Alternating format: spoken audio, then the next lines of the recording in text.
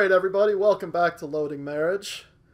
Glad to have you back. I'm already irritated with Sandy because we're, uh, you know, we again we record a couple of these videos at a time, and she decides now's the time to eat chocolate and drink water.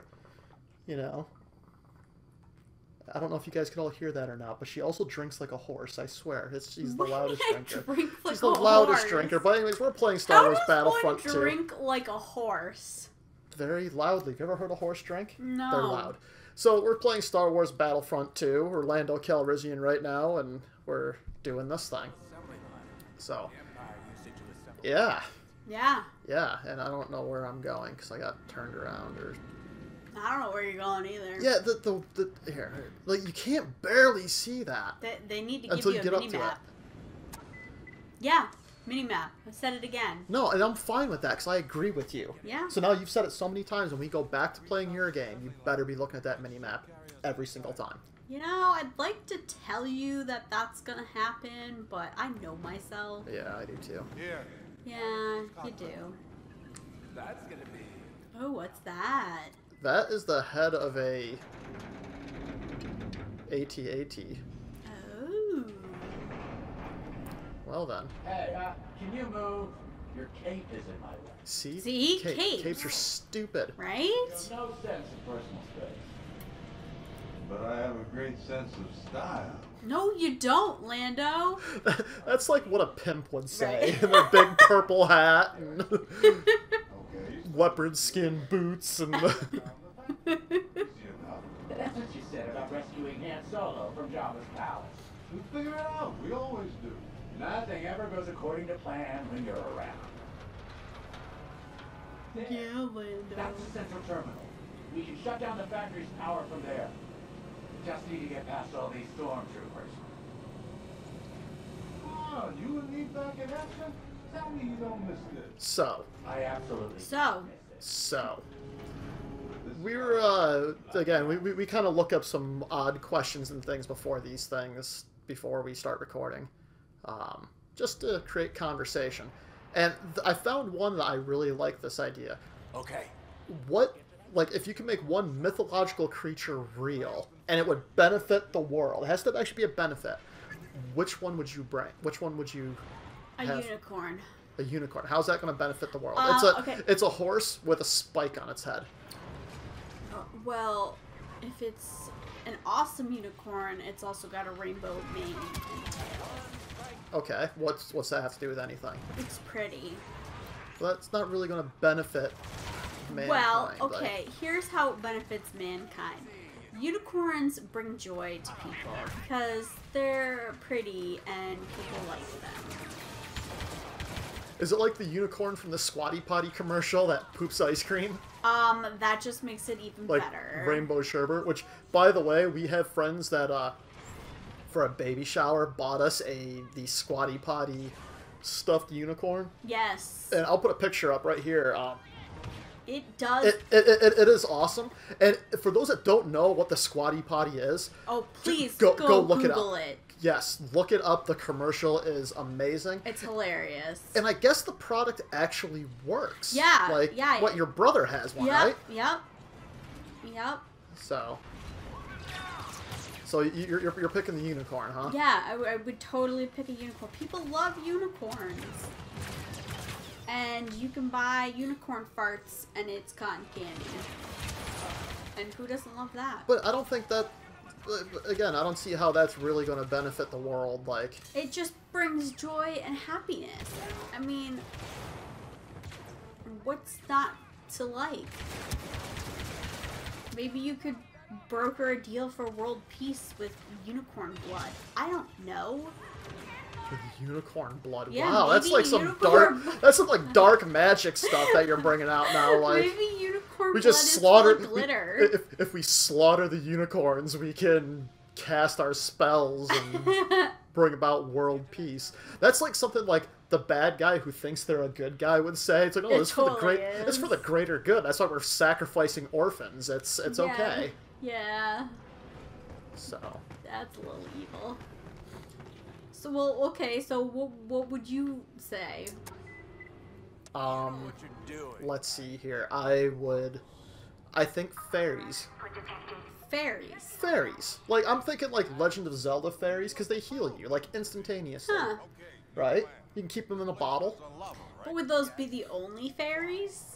I mean, there's all kinds of like a Tinkerbell. Just find us a ride. Yeah, No, I don't know what Tinkerbell. Tinkerbell really did. Yeah, other than I don't know either. I know she was magical. Oh well, didn't she make it so that Wendy could fly and the other kids? Oh yeah, fairy dust. Right? Yeah, yeah. Yeah, that'd be pretty sweet.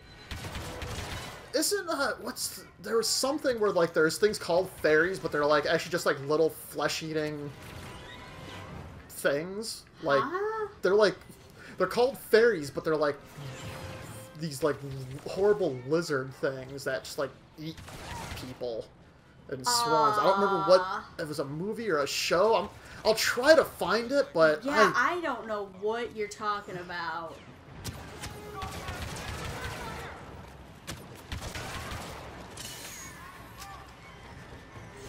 But yeah, but not not those fairies. We're gonna say the the, the ones that heal people and that give you little uh, fairy dust to make you fly. So I think that'd be a Alright. benefit to the world. Yeah, I guess so. You know. Um. Still have no idea what this little thing does.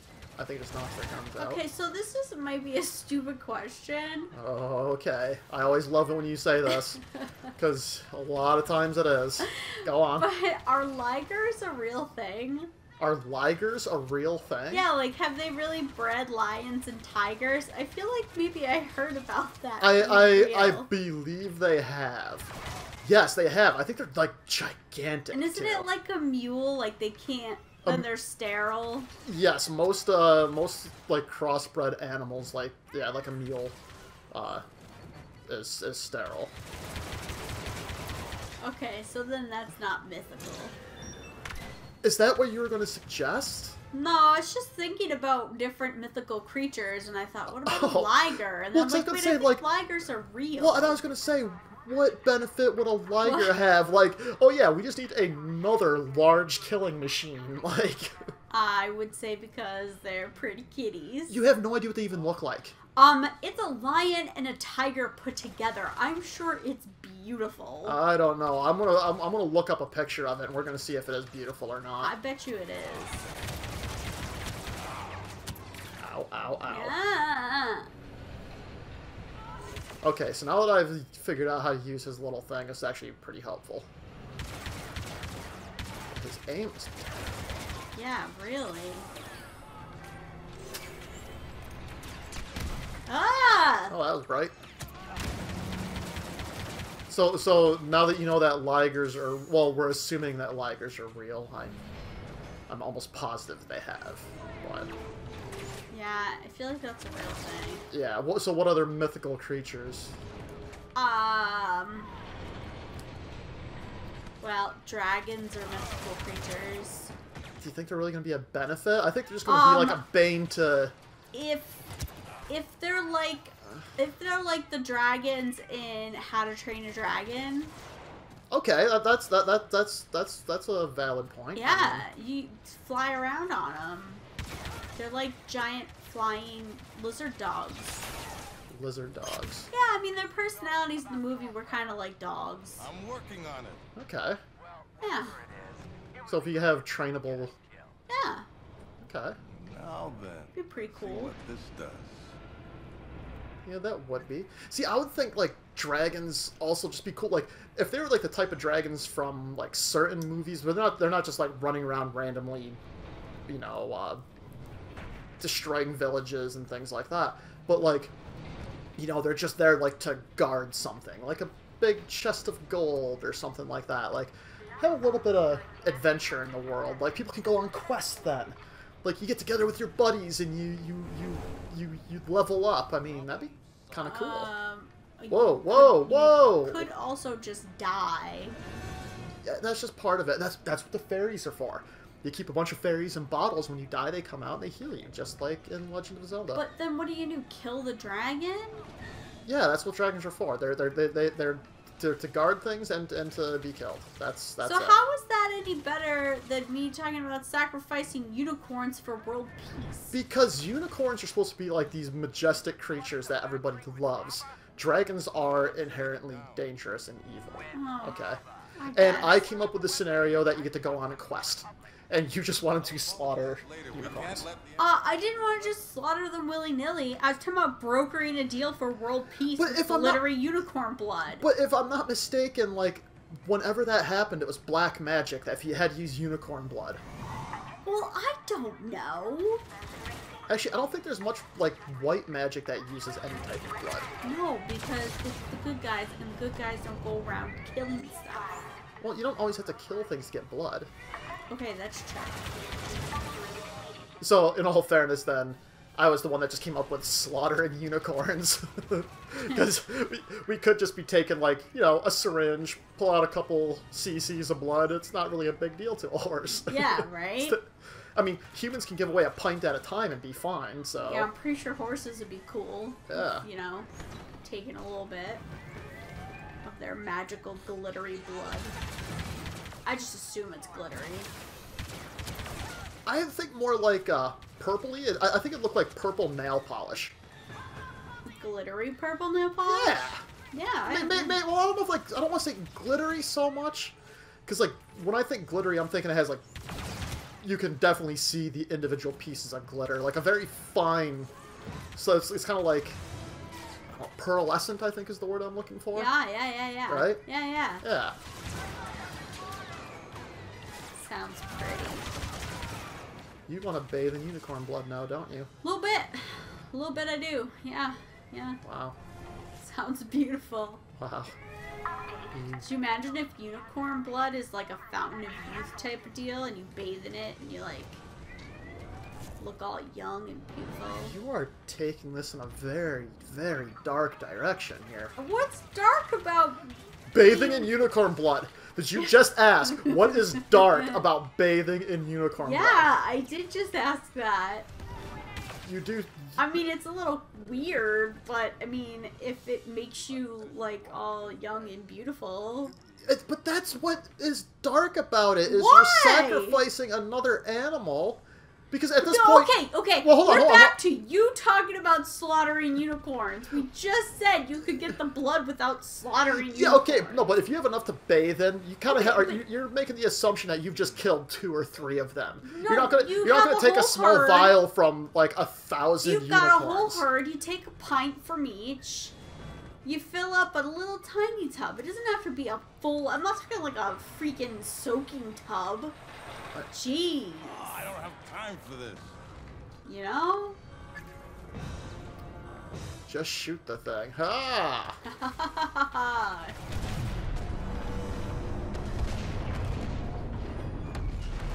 Is it bad that I, it- or is it weird that I always feel a little sad when one of those? get- Oh!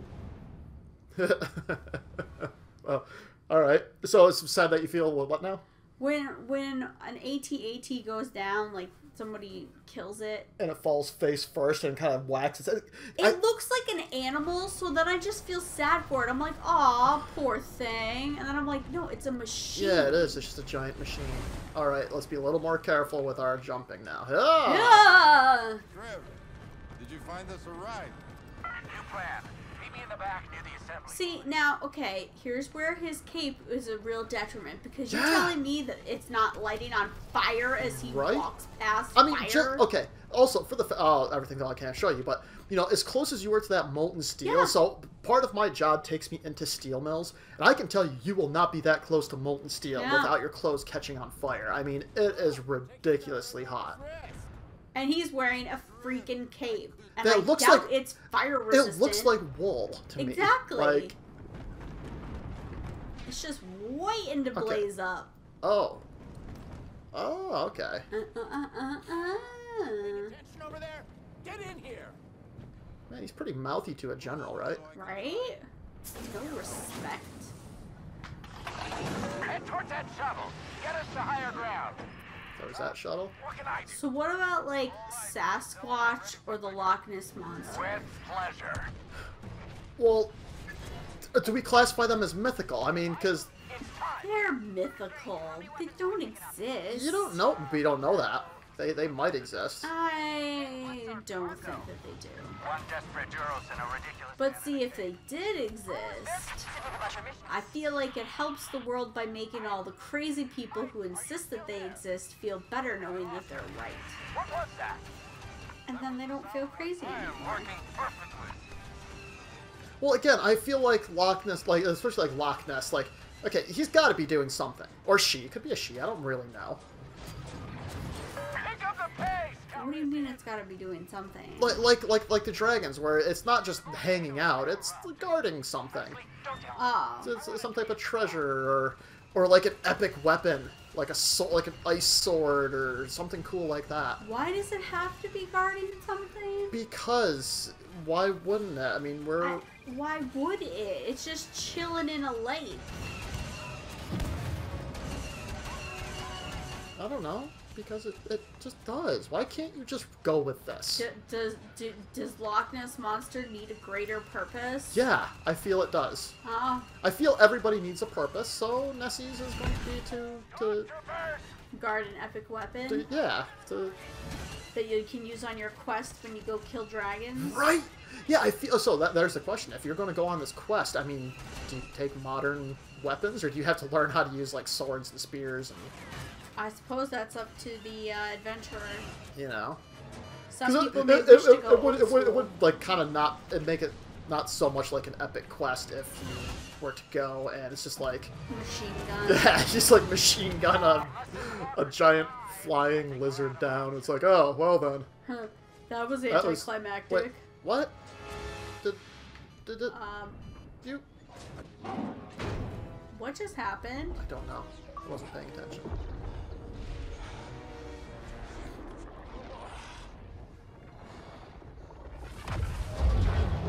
Uh, y'all gonna die. Yep, because that's what we're gonna do in this game is kill Lando Calrissian. If I die here, I'm glad you will too.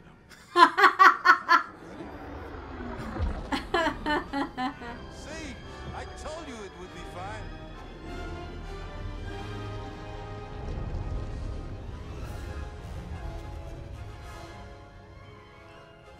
Destroying that factory had a bigger impact than we thought. Admiral Ackbar is calling all Republic ships to Jakku. The whole Imperial fleet is there, minus the equipment they would have received from Sullust. I expect my father will be there too. But catching him is no longer our priority. This battle could be the end of the war. Let's get in, and we do what we can to help. Or die trying. What? they, they, they could have ended it with that, yeah. That's the truth.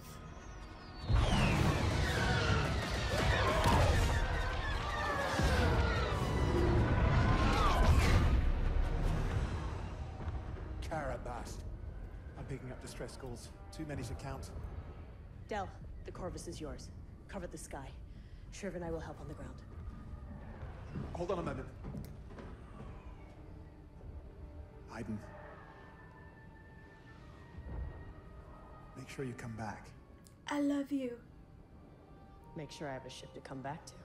Do they always have to throw in some type of love interest into everything? Well, let's face it. Shriv, I hope you survive this incredibly dangerous mission as well. Thank you, Del. Your friendship means everything to me. I like Shriv. He's saucy. But yeah, there's always gonna be a love interest. Let's face it, that's how humans are. Especially you get a man and a woman in a dangerous, life-threatening situation. I mean, studies show that you're more likely to fall in love then. what studies have been like? Do they put a man and a woman in a room and then like a couple like shifty-looking characters with guns? They they've done studies where they have people like experience something like scary, like going over like a rickety, scary bridge that's like really up high, and then they give them like a quiz to see. this didn't like go against some ethics code to put people in danger like They that. weren't actually in danger. The, the the the bridge was safe, but it was like if you're scared of heights, like it's still terrifying because it's like a little bridge over a big crevasse. You know what? It's all making sense why you want to bathe in the blood of unicorns. Psychologists are terrible people, And that's where we're going to end this show. Is that psychologists are terrible people. That's a horrible way to end the show. What if people Hey, but you know what? I get to end it how I want to. Bye, everybody. Professional, and you just told them that they're terrible people. We help people. Ish.